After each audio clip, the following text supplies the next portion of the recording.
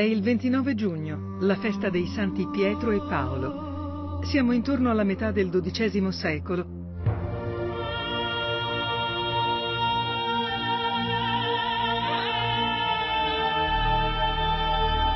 Il monaco Filagato da Cerami entra nella cappella dedicata ai Santi Apostoli, eretta da poco all'interno del Palazzo Reale di Palermo, e inizia a leggere la sua omelia.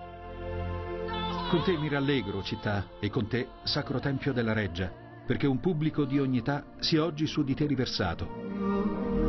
Di tutte queste cose è causa anzitutto il Dio, e in secondo luogo un re pio, Egli, dopo averci procurato molti e grandi benefici, ha aggiunto un'altra prova della sua anima veramente grande e regale. Questo amenissimo Tempio dei Santi Apostoli, tempio che egli ha costruito nella sua reggia quasi a fondamento e baluardo, molto grande e bello, e distinto da una bellezza nuova, risplendente di luci, fulgente d'oro e splendente di mosaici e allietato da immagini, tanto che uno, dopo averlo veduto molte volte, se lo vede di nuovo lo ammira e ne rimane stupito, come se lo vedesse per la prima volta, volgendo qua e là lo sguardo. Lo sguardo di Filagato è uno sguardo colto e stupefatto. È un intellettuale profondamente intriso di cultura bizantina, ma un edificio sacro come quello che si trova a descrivere non l'ha mai visto. Leggendo Filagato da Cerami, questa pagina celeberrima, mi sono chiesta davvero quanto di esistente, di, di essenza c'è in questa pagina, non è una pagina retorica, non è una pagina letteraria, è un'omelia che è rivolta a persone in carne ed ossa e noi abbiamo proprio il respiro di queste persone. Quello che colpisce in fondo di più nella descrizione di Filagato è che Filagato non indugia nelle immagini sacre, le cita appena, indugia piuttosto nei particolari che sono appunto più esotici, potremmo dire, in, quel, in qualche modo. Per cui descrive allo stesso modo anche il, il soffitto straordinario a Mukarnas che lui vede da una posizione mh, anche abbastanza ravvicinata. Quanto poi al soffitto, è cosa che uno non si sazia di guardare, ed è meraviglia a vederlo e a sentirne parlare, perché è abbellito da intagli sottili variati in forma di canestri, e brillando tutto intorno per l'oro, esso imita il cielo, quando per l'aria serena è illuminato tutto intorno dalla folla degli astri. Dal tempo di Filagato sino ai nostri giorni, la Cappella Palatina non ha mai cessato di suscitare stupore. Di questo luogo, Guy de Maupassant diceva che se ne subisce l'intensità prima ancora di averlo compreso.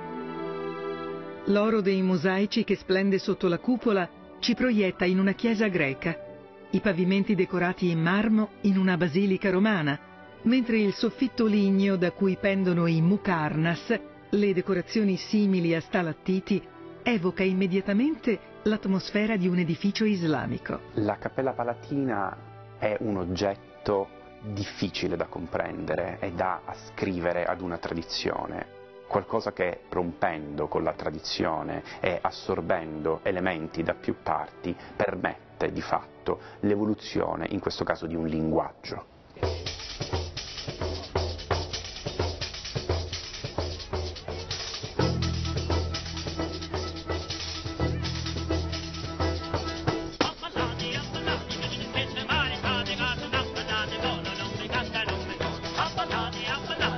Palermo dei Normanni è stata nel XII secolo uno straordinario laboratorio politico, culturale e artistico.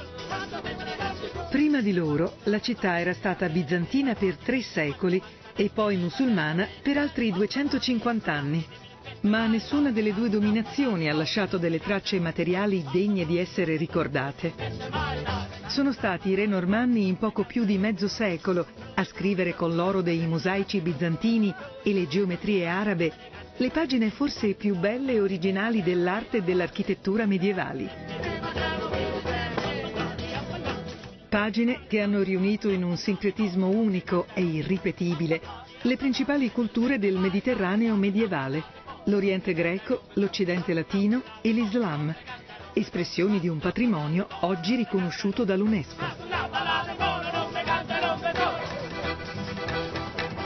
Il concetto di sincretismo è cruciale per comprendere davvero l'arte e la cultura della Palermo normanna.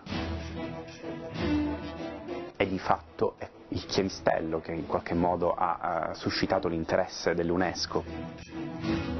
Potremmo dire, citando Oleg Grabar, è qualcosa di cronotopico, cioè qualcosa che può avvenire solamente in questo luogo ed in questo tempo.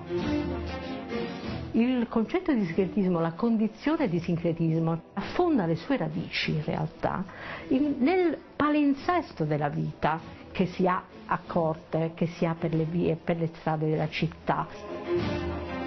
Anche per le vie di Palermo in realtà si incontravano e riuscivano a comprendersi vicendevolmente il normanno che parlava il francese, il latino, il bizantino che parlava il greco, il berbero che parlava l'arabo, l'ebreo che parlava, che parlava la sua lingua ma capiva perfettamente anche l'arabo. In tal senso credo che il più, il più, grande sincretismo sia avvenuto con la nascita della civiltà eh, islamica e sono stati i, i musulmani per primi che hanno preso in prestito le culture altrui, mettendole insieme con l'obiettivo di creare qualcosa di nuovo, ma sulle spalle in qualche modo della, della storia e della tradizione.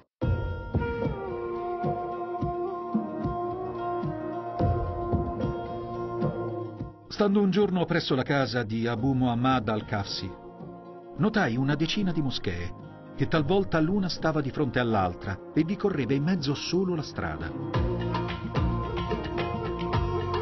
Avendo chiesto il motivo di questo numero strabocchevole, mi fu detto che qui la gente è così gonfia di superbia che ognuno vuole una moschea sua propria, nella quale non entri che la sua famiglia e i suoi clientes. Intorno al 970 d.C. il mercante iracheno Ibn Hawkal visita la città. Il suo resoconto resta ancora oggi una delle testimonianze più preziose della Palermo araba del X secolo a quell'epoca la Sicilia, musulmana da oltre un secolo e mezzo, è retta dagli emiri calbiti e per gli islamici rappresenta una terra di frontiera. Ibn Hawkal proviene dalla raffinata Baghdad, sede del califfato abbaside e cuore del mondo musulmano. Ai suoi occhi, Balarm, così come la chiamano gli arabi, rappresenta una periferia estrema, abitata da una società ibrida, dove ampi strati della popolazione non sono ben arabizzati né ben islamizzati. Il suo giudizio è perciò severissimo. Ibn Hawkuk diceva le cose tremende dei palermitani, dice che invece di andare a seguire la jihad, a proseguire la jihad in terraferma in Italia, hanno pagato un tipo di, uh, di tassa per non andare. Dice che soprattutto quelli nella campagna attorno a Palermo che parlavano una lingua incomprensibile e che i figli maschi musulmani di questi si sposavano con, uh, con donne cristiane siciliane. La Palermo che scandalizza Ibn Hawkal è una città multiculturale, ricca di innesti provenienti da varie componenti dell'universo musulmano e cristiano. Una città che continuerà a espandersi fino a diventare, nell'undicesimo secolo, uno dei centri provinciali più fiorenti del Mediterraneo musulmano. Ma di questa Palermo, dalle oltre 300 moschee, oggi non restano che poche tracce materiali. Prima le guerre civili che hanno dilaniato l'Emirato Calbite, poi il lungo assedio culminato con la conquista normanna hanno finito per distruggere gran parte di quella città. Per quasi un secolo, 90 anni, tre generazioni, dalla caduta dell'Emirato Calbita fino alla coronazione di Ruggero II, la Sicilia è stata presa da disordine, di, di guerra, di confusione. E in questo tempo, temo, è stato distrutto la maggior parte dell'infrastruttura della Sicilia musulmana.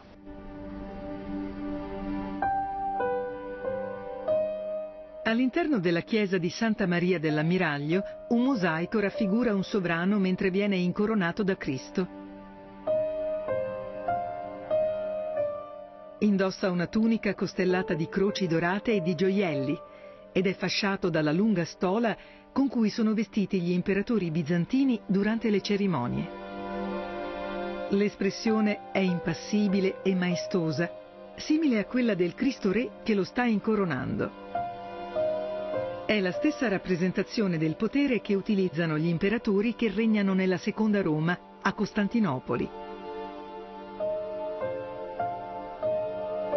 Ma la figura ritratta nel mosaico non è un Basileus d'Oriente, anche se scritto in greco, il titolo adottato è quello latino di Rex.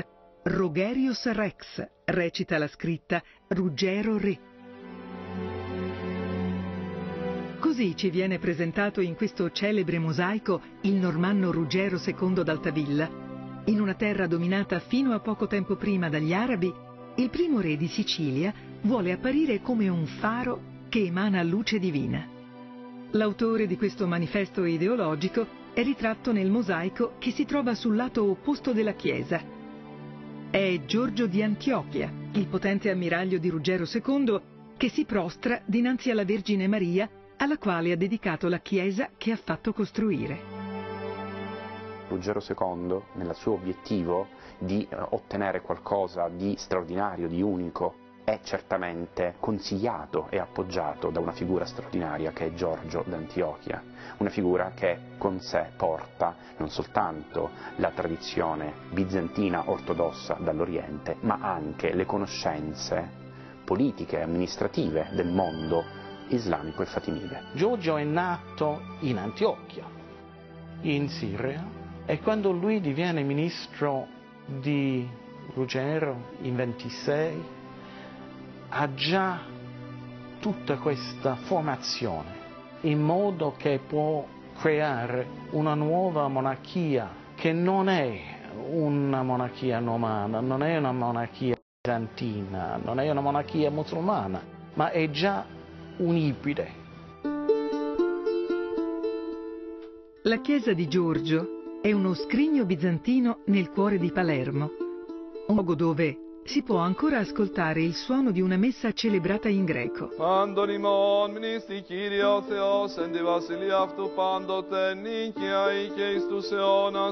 Dal 1937, infatti, questa chiesa appartiene all'eparchia di Piana degli Albanesi e la liturgia viene officiata secondo il rito greco-bizantino. Per una chiesa come questa, si è trattato di un vero e proprio ritorno alle origini. L'edificio che Giorgio d'Antiochia fa costruire come sua cappella privata prima del 1143 era diverso da come lo vediamo oggi. Aveva l'aspetto di una tipica chiesetta bizantina, un edificio a pianta centrale sormontata da una cupola.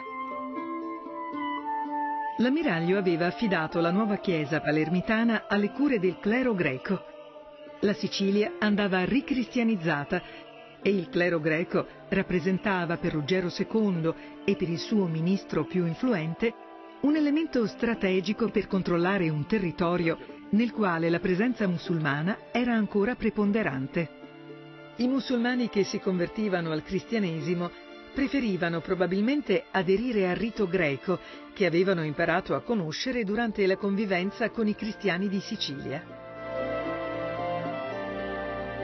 A Santa Maria dell'Ammiraglio il passaggio al rito latino è avvenuto solo nel 1435, quando la chiesa è stata ceduta al vicino monastero femminile della Martorana. Da quel momento in poi la struttura della piccola cappella medievale di Giorgio è stata completamente stravolta per adeguarla alle esigenze di una chiesa conventuale. Solo con i restauri del 1870 il nucleo centrale dell'edificio è stato riportato, per quanto possibile, al suo aspetto originario. È straordinario il fatto che all'interno della chiesa di Santa Maria dell'Ammiraglio convivano due espressioni così vitali della produzione artistica palermitana e siciliana. Da una parte quella bizantina, perché a Santa Maria dell'Ammiraglio la lingua è propriamente bizantina, e poi invece un ritmo diverso, quello del barocco. quello dei marmi mischi che a Palermo celebra davvero una delle rappresentazioni più straordinarie più grandi. Ruggero II e Giorgio di Antiochia sanno che la costruzione del regno è un'impresa non solo militare e politica, ma essenzialmente culturale e Bisanzio offre loro ideali e forme della rappresentazione adeguati alle ambizioni del nuovo sovrano. Il re e il suo primo ministro scelgono di importare la più nobile e preziosa delle arti decorative bizantine, il mosaico. Giorgio sfrutta le sue conoscenze per far venire a Palermo la migliore squadra di mosaicisti greci di Costantinopoli chiesa di Santa Maria dell'Ammiraglio rappresenta forse l'episodio più puro dell'arte eh, bizantina eh, in terra di Sicilia. Chiunque entra nella chiesa di Santa Maria dell'Ammiraglio è attratto dal centro e si pone sotto la cupola.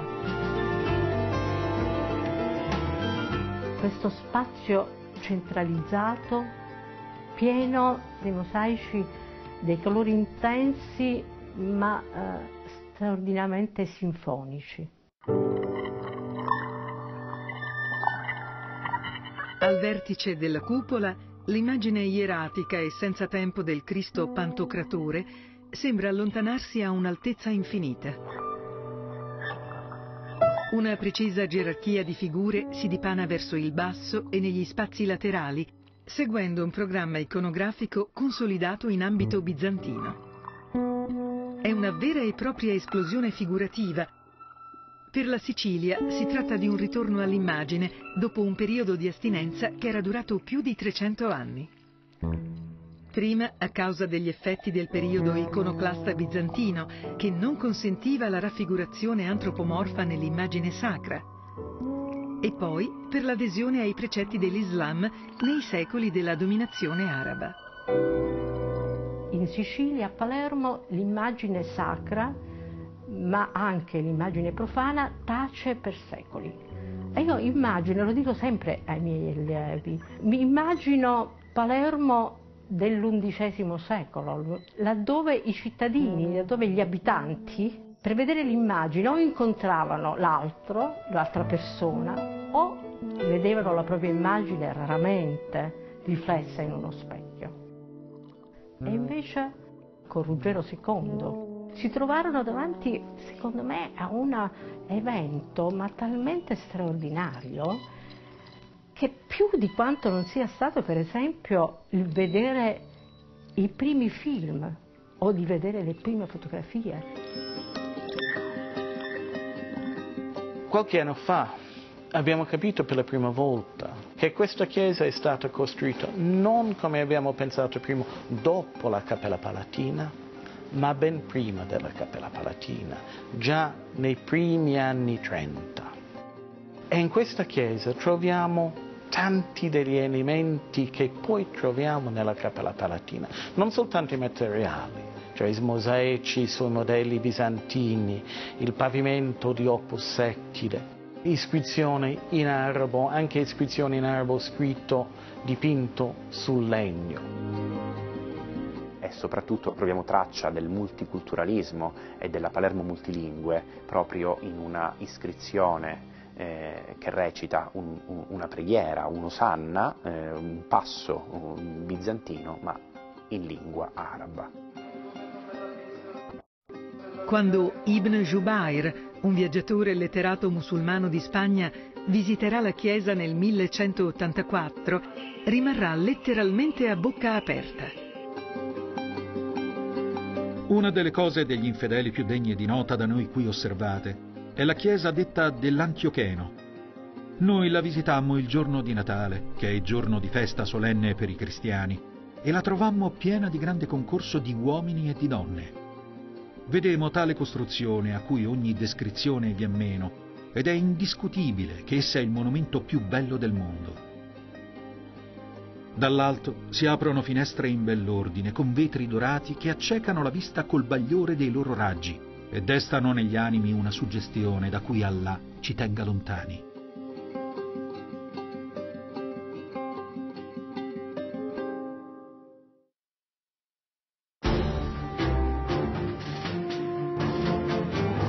Santa Maria dell'Ammiraglio, nei primi anni 40 del XII secolo, può essere considerata il vero inizio del programma ruggeriano.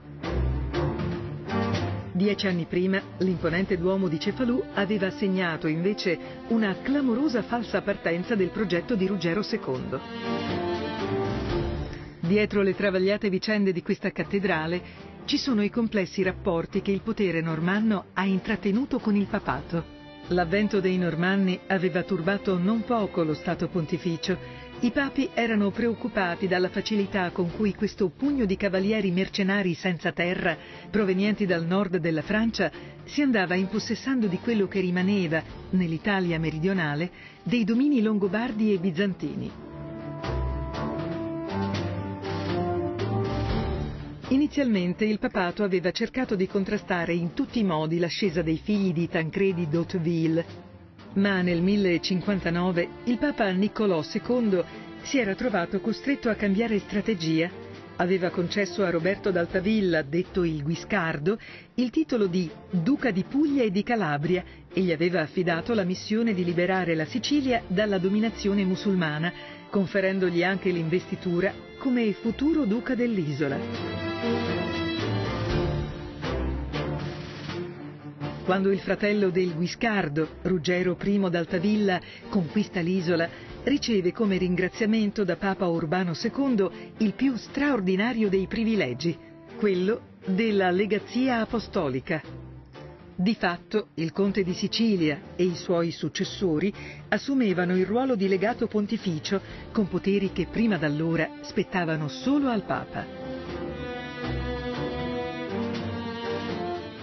Ed è con questi poteri straordinari che nella cattedrale di Palermo, la notte di Natale del 1130, il figlio di Ruggero I, Ruggero II, viene incoronato re di Sicilia e di tutto il meridione. Ruggero II nel 1130 finalmente raggiunge un obiettivo straordinario che è quello di unificare il meridione d'Italia, di eh, creare un regno eh, e il suo regno viene legittimato di fatto da un papa che è Anacleto II che immediatamente dopo la sua elezione legittima viene invece eh, dichiarato papa illegittimo e quindi antipapa per i partiti eh, delle famiglie patrizie romane che invece appoggiano Innocenzo II. Dunque eh, Ruggero II vive degli anni difficili tra il 30 e il 39. Un anno dopo l'investitura regale, Ruggero II fonda la chiesa di Cefalù l'antipapa Anacleto II la consacra come cattedrale. L'eccezionale monumentalità del Duomo sembra quasi voler mascherare la mancata legittimazione papale. La cattedrale di Cefalù è la cattedrale del cuore di, eh, di Ruggero. Fondata nel 31, va avanti con un disegno davvero di proporzioni eccezionali come sa chiunque va a Cefalù e ha la visione di questa città appollaiata ai piedi di questa mole straordinaria tra la rocca e il mare. Nel frattempo l'antipapa viene deposto da Innocenzo II, che gode del sostegno del Sacro Romano Impero, e Ruggero viene delegittimato e scomunicato dal nuovo pontefice.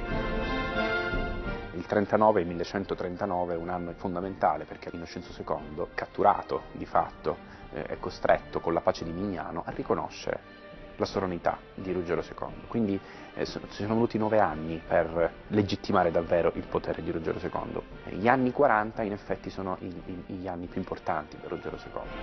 È in questo periodo che nel più nordico degli edifici della Sicilia normanna entrano gli elementi di quel sincretismo culturale e ideologico che caratterizzano il programma di Ruggero, in particolare il mosaico.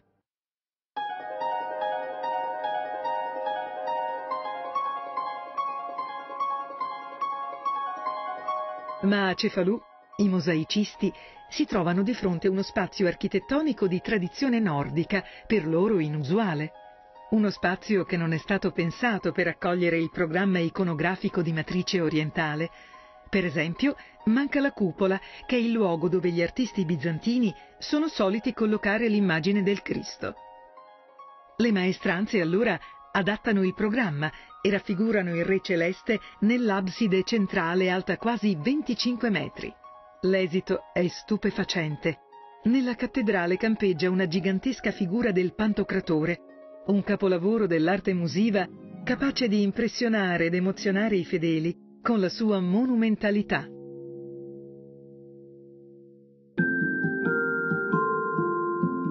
Nel 1145 Ruggero II decide di trasformare la cattedrale nel suo mausoleo. Dona alla chiesa di Cefalù due grandiosi sarcofagi di porfido destinati a essere collocati nelle braccia del transetto. Il primo è riservato alla propria sepoltura, il secondo a celebrare la sua fama. Le ambizioni del re, però, saranno frustrate alla sua morte, nel 1154, le sue spoglie verranno deposte in un sarcofago romano di spoglio all'interno della cattedrale di Palermo. Ma che fine hanno fatto allora le tombe vuote che sono rimaste a Cefalù? Dobbiamo aspettare il 1215, Federico II, figlio di Enrico VI, imperatore del Sacro Romano Impero, e di Costanza, la figlia postuma di Ruggero II. Federico II nel 1215 sta ad Aquisgrana, viene incoronato, matura la decisione che quei sarcofagi di porfido siano trasportati nella cattedrale di Palermo per essere destinati l'uno, quello di Ruggero II, a tomba di Federico II e l'altro invece al padre di Federico II, proprio quell'Enrico VI di cui abbiamo detto prima.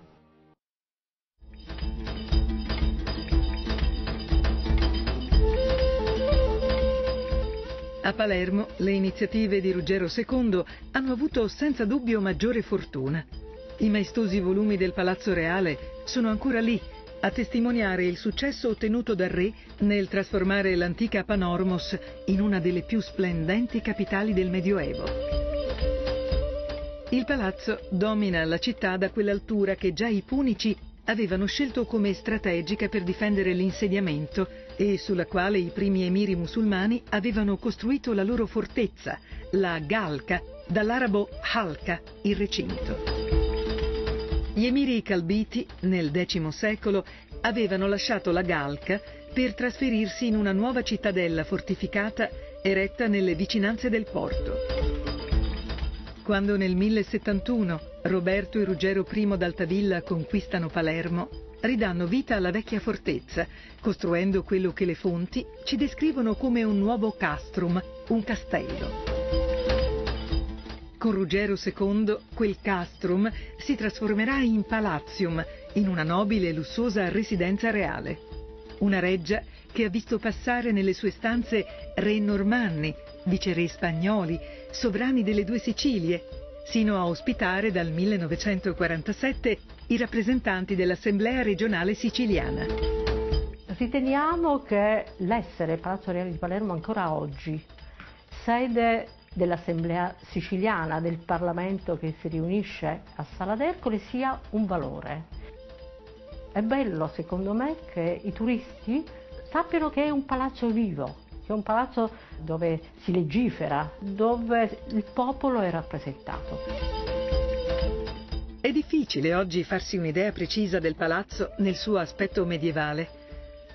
Molte fabbriche moderne si sono sovrapposte alle strutture originali, quella più evidente è la facciata seicentesca sul lato orientale, quello che guardava alla città.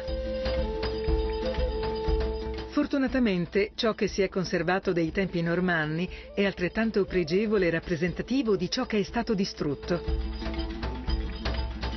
L'imponente torre pisana, che porta il segno inequivocabile dell'architettura islamica.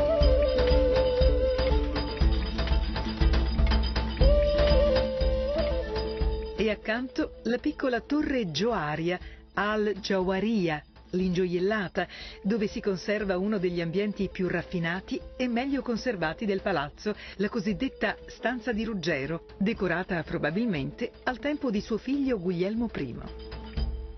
La sala di Ruggero è un unicum.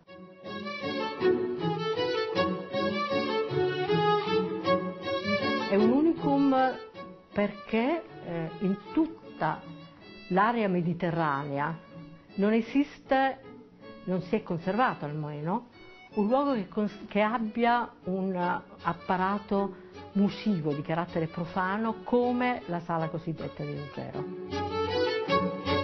Un spazio piccolo, tutto sommato, voltato con una volta straordinaria, sulle pareti si, eh, sono fissi, ecco, immoti, queste scene di caccia. Mai ho visto una scena di caccia meno movimentata, più iconica, più simmetrica.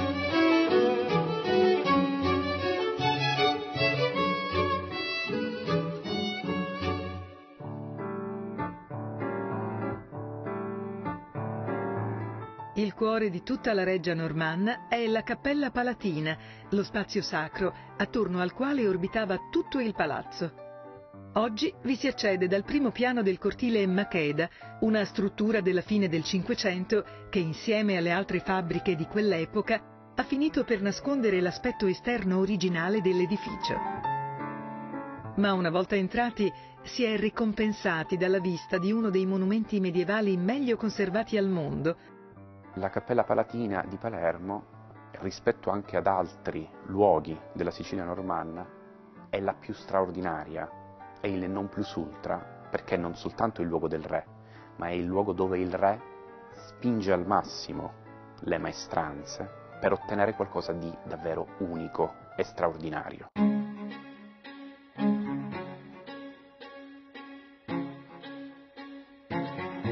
Raramente è avvenuto nella storia che le migliori culture visive di un'epoca si siano incontrate nel medesimo tempo e nel medesimo luogo. Nella cappella palermitana, ciascuna di esse ha contribuito a illustrare il programma regale di Ruggero II. Mosaici bizantini per la figuratività, eh, le maestranze islamiche per la capacità di affascinare attraverso invece l'astrazione, la trascendenza e la geometria. Ecco, tutti questi media vengono messi insieme. L'orizzonte dei mosaici è quello greco-bizantino, ma la scelta e l'ordine delle scene si piegano alle esigenze del programma del sovrano, derogando dalla ferrea regola liturgica.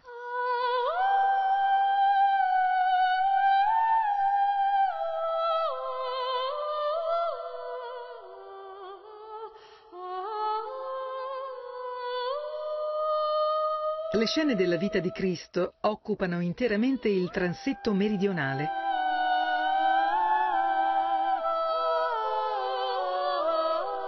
Nessun cenno alla passione e alla morte di Cristo. Allo stesso modo, nei mosaici delle navate laterali, che narrano le storie di Pietro e di Paolo, non c'è traccia della morte per martirio dell'uno e dell'altro, come se alla corte del re normanno e dei suoi successori ci fosse posto solo per vittorie, miracoli e trionfi.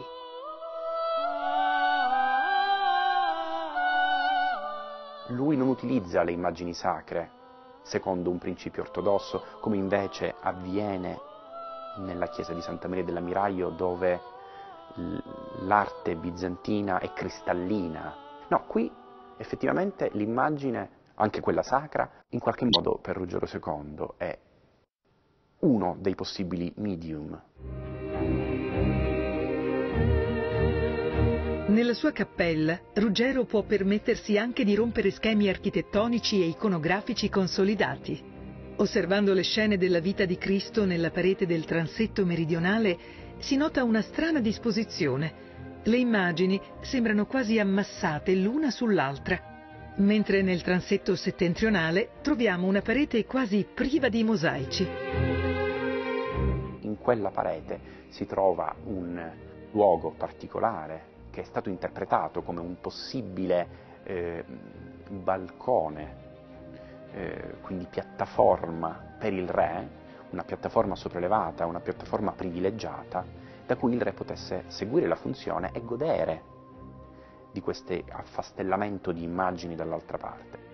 Se guardiamo poi i mosaici e come sono disposti nelle pareti, troviamo lo spostamento eh, della Vergine Odigitria nel transetto settentrionale rispetto all'asse centrale, una asimmetria che secondo la tradizione, i canoni dell'arte bizantina è assolutamente atipica e potrebbe trovare giustificazione solamente se immaginiamo in effetti una finestra per il re che affacciandosi da quella finestra avrebbe, con un gioco ottico straordinario e raffinatissimo, avrebbe visto la Vergine al centro.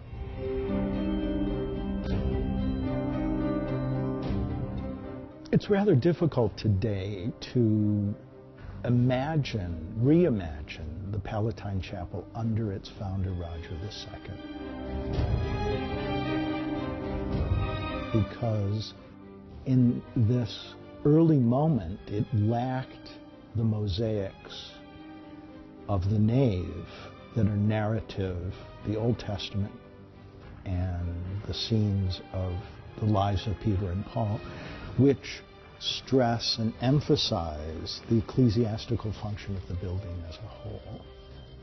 We have to read them out of the equation and I think at the same time insert into the equation elements of decoration that are missing, such as wall hangings, which are mentioned by Philagathos, among others.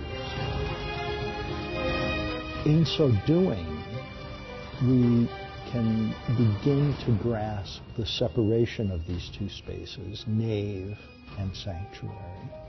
This is where the liturgical celebration occurred.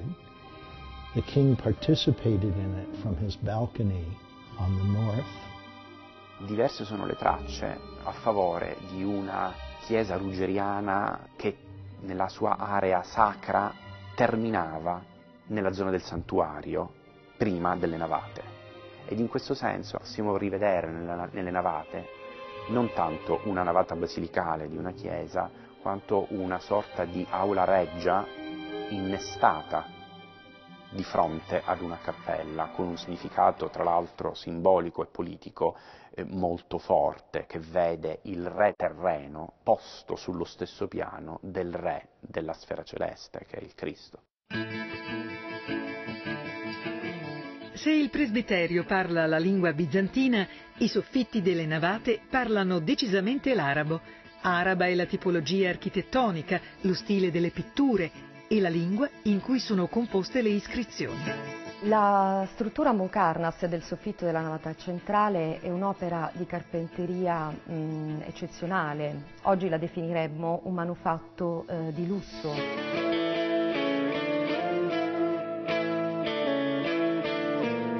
Si tratta di una, di una struttura eh, unica nel suo genere.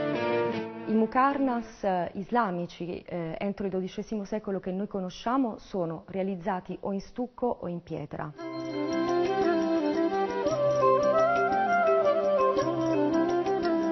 Il mukarnas della Palatina è l'unica testimonianza che abbiamo entro il XII secolo realizzata in legno. Si tratta di un intaglio ligneo, ma di pannelli che vengono montati insieme così da costituire proprio una struttura autoreggente, autoportante. E immaginare un soffitto lungo 18 metri per 5 e con una cornice a mucarnas alta circa 2,20 metri 20 è stupefacente pensare che si reggesse da sola. I soffitti della Palatina conservano il più grande complesso di pitture arabe conosciuto gli studiosi sono arrivati a contare oltre 3.300 figure. Uno sterminato paesaggio pittorico di carattere profano. Sono in gran parte legate al cosiddetto ciclo principesco o regale islamico, un ciclo che venne elaborato attorno al IX secolo nell'Iraq abbassita e che nasce eh, con eh, con un intento, con la funzione di celebrare il potere e la ricchezza del sovrano. Al centro di questo programma c'è il re, il sovrano, circondato dei suoi compagni in questo simposio. Tutti sono dipinti secondo la stessa formula, cioè seduti, seduti in terra, con un bicchiere di vino. Questa è l'immagine, forse l'immagine più essenziale di un sovrano musulmano con un bicchiere di vino in mano dall'ottavo, um, nono secolo fino al 1200-1300. È il, il ciclo dei piaceri del principe e della vita di corte e dunque troviamo una sorta di grande festa, un, con banchetti, eh, lottatori, giocatori di scacchi, in una delle più antiche rappresentazioni del gioco degli scacchi, troviamo figure che certamente hanno poco a che fare con il mondo latino-cristiano. Per molto tempo la critica ha creduto che le pitture del soffitto non facessero parte del programma ruggeriano della cappella, che si trattasse semplicemente di una collezione di immagini sparse. Ma studiando in dettaglio quell'oceano figurativo, alcuni studiosi hanno cominciato a rendersi conto che fra certe pitture dei soffitti ed altri spazi ed elementi decorativi della cappella esiste un dialogo serrato.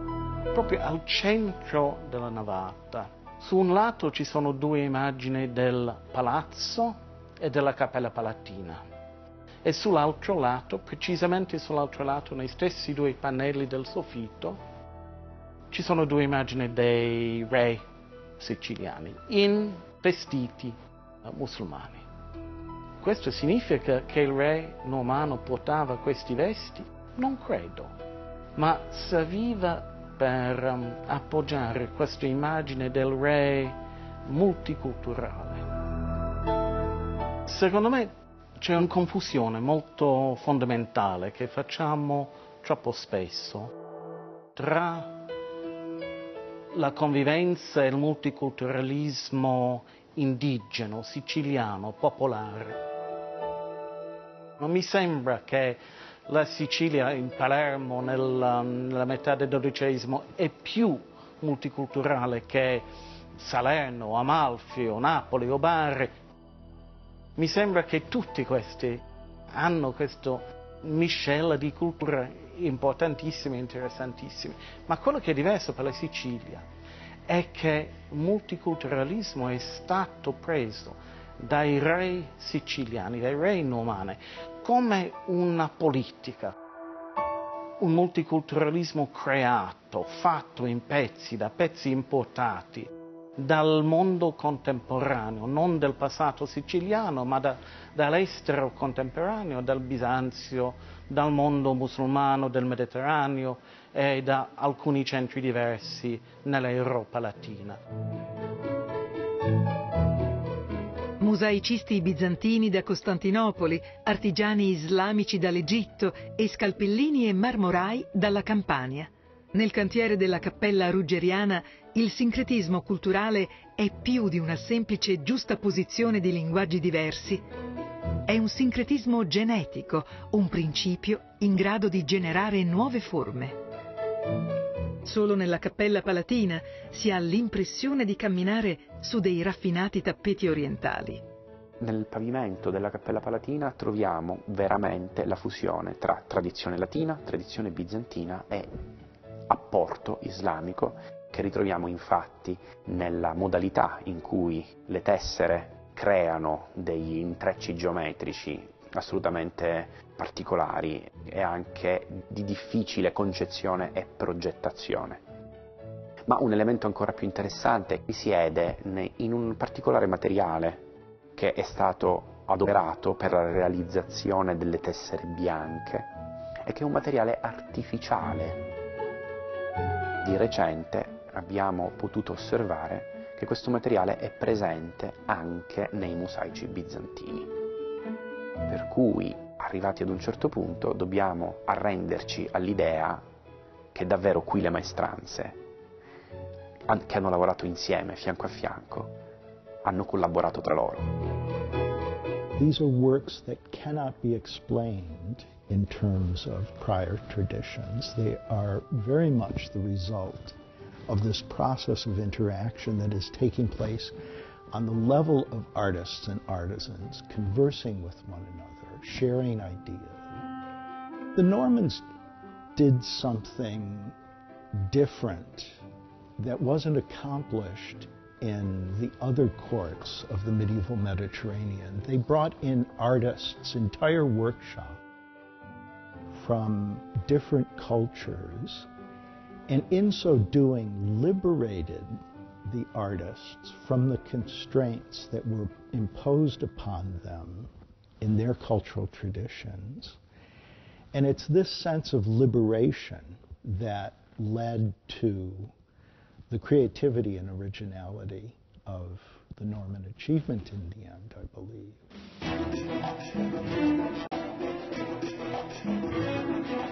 Se nelle chiese gli elementi islamici sono contenuti in un orizzonte cristiano, negli edifici dedicati ai piaceri privati c'è una prevalenza assoluta del mondo arabo, della sua arte e della sua raffinata idea del bello. Immediatamente fuori dalle mura delle città, Ruggero II e i suoi successori si affidano alle sapienti mani dei giardinieri e degli architetti islamici per creare un magnifico parco reale, il Genoardo, l'arabo Jannat al-Ard, il giardino o paradiso della terra. In questo vasto territorio suburbano, la tanto celebrata Conca d'Oro di Palermo, vengono costruiti diversi edifici, tutti di fattura islamica, dove i sovrani normanni smettono i panni del Rex per adottare quelli del sultano. Ruggero II sceglie per sé il castello della Favara, forse già dimora di un emiro calbita, con il suo immenso parco che si estende alle pendici del Monte Grifone. E affinché a un sì grand'uomo non mancassero in alcun tempo le delizie delle acque e della terra, in località detta Favara, fece un bel vivaio, nel qual fece mettere pesci di ogni genere fatti venire da varie regioni. E accanto allo stesso vivaio fece anche edificare un palazzo assai bello e vistoso. Il parco ospitava un ampio bacino che delimitava tre dei lati del palazzo reale. Un grande lago con al centro un'isola coltivata ad agrumi che gli è valso il nome di Mare Dolce. In questo grande lago la, la grande quantità di acqua serve a duplicare la bellezza del palazzo. Questo è una, un escamotage paesaggistico molto in uso nell'architettura islamica.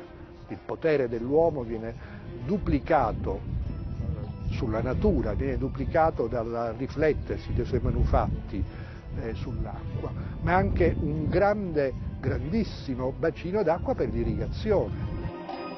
I regnanti erano molto attenti all'economia e, e furono immediatamente capaci di capire il segno, il senso della rivoluzione agricola araba. Gli arabi avevano importato piante che diventeranno fondamentali per l'economia siciliana, la canna da zucchero e, e gli agrumi, eh, limone e, e aranciamaro.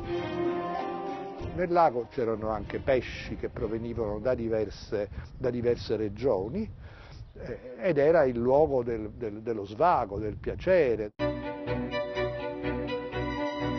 Placatisi dunque per un certo tempo nel regno i tumulti esterni, il re, che frattanto stava nell'ozio e nel riposo, cominciò a vagare con la mente e decise, come già il padre aveva edificato la Favara ed altri luoghi di delizia, di fabbricare anch'egli un palazzo che superasse, per comodità e perfezione artistica, tutte le opere del padre.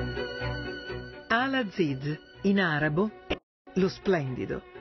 Tale doveva apparire il palazzo fatto costruire nel 1165 da Guglielmo I, figlio e successore al trono di Ruggero II. Ancora oggi l'Aziza rappresenta il modello più limpido e meglio conservato dell'architettura palaziale arabo-normanna. Il vero gioiello del palazzo è costituito dalla sala centrale del piano terreno, la sala della fontana, con le sue decorazioni in opus sectile e i mosaici bizantini con temi profani e iconografie islamiche.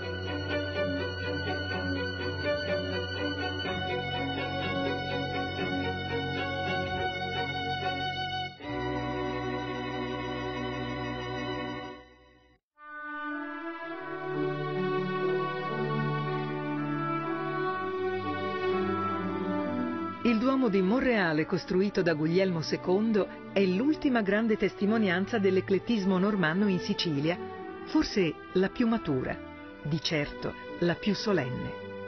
Un'impresa nella quale si fondono la monumentalità di Cefalù e la ricchezza della Cappella Palatina.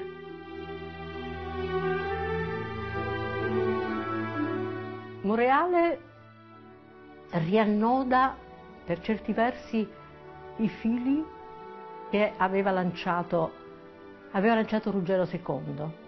Guglielmo II, nipote di Ruggero II, è molto più vicino al nonno, ai sogni del nonno, che non a quelli del padre.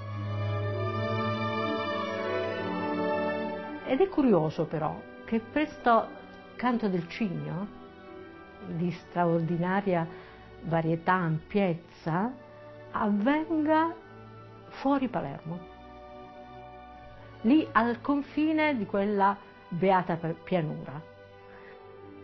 Sono rimasta sempre impressionata dal fatto che Monreale, la cattedrale, è in asse in qualche modo con la cattedrale di Palermo. Sono le due cattedrali che a distanza di 4 miglia si fronteggiano. Il Duomo di Monreale e la cattedrale di Palermo simboleggiano la contrapposizione fra lo Stato normanno e la Chiesa palermitana sono l'esito dell'accesa rivalità che esplode tra il re e l'arcivescovo. Un conflitto che però non viene risolto con le armi e le congiure, ma attraverso l'edificazione di due monumenti, due grandi chiese che affermano entrambe, nel modo più visibile e concreto, il potere del committente nei confronti del rivale. E Guglielmo II pensa alla cattedrale di Monreale come a un mausoleo fa erigere una tomba di Porfido con il baldacchino gemella di quella di Cefalù e la destina al padre, Guglielmo I.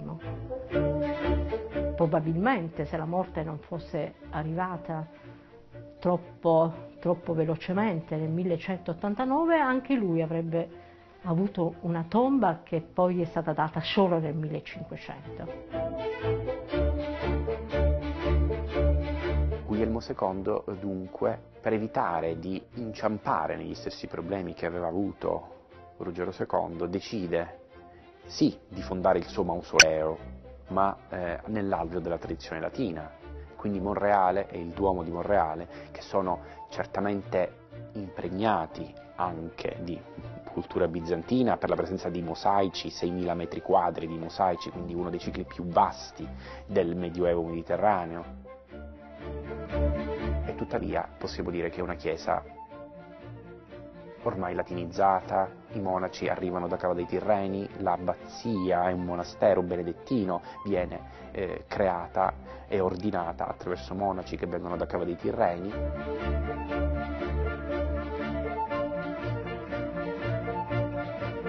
Lo sviluppo dell'arte sicuro-normanna che ha trovato il suo apogeo attraverso la figura di Ruggero II e con la committenza di Ruggero II, volge verso un epilogo e rientra nell'alveo della tradizione eh, latina.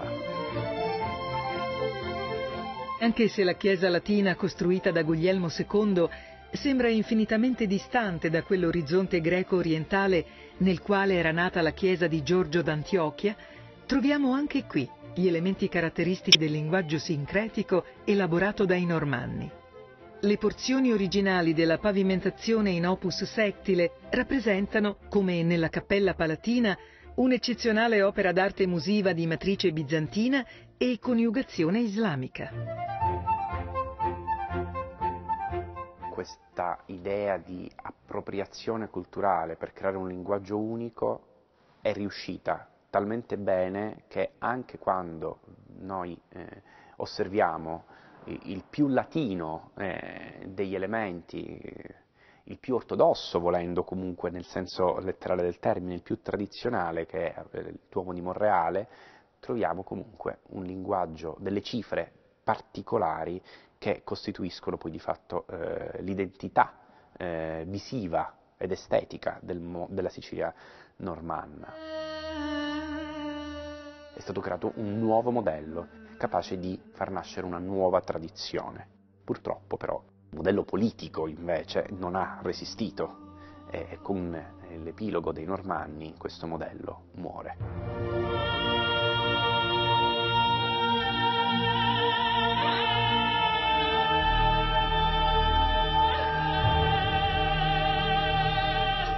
La dinastia normanna in Sicilia è durata lo spazio di tre sovrani, Ruggero II, suo figlio Guglielmo I e suo nipote Guglielmo II. Morto quest'ultimo nel 1189, le fortune storiche della Sicilia mutano. Qualche anno dopo, l'imperatore tedesco Enrico VI sposa la figlia di Ruggero II, Costanza, e attraverso quest'unione l'impero romano d'Occidente rivendica il regno che viene assorbito sotto il figlio di Enrico, Federico II. La Sicilia finisce ai margini di un asse geopolitico che si sposta definitivamente nell'Europa continentale. Uno dopo l'altro, gli imperatori tedeschi si faranno incoronare indossando uno splendido mantello di seta rossa ricamato con l'immagine di una palma fiancheggiata da due leoni che sbranano due cammelli. Lungo il bordo corre un'iscrizione in arabo che proclama le virtù del principe. È il celebre mantello di Ruggero II che il re normanno fece ricamare nell'opificio di Palazzo Reale, il simbolo di un regno mediterraneo che accolse sotto un solo manto uomini e donne di fedi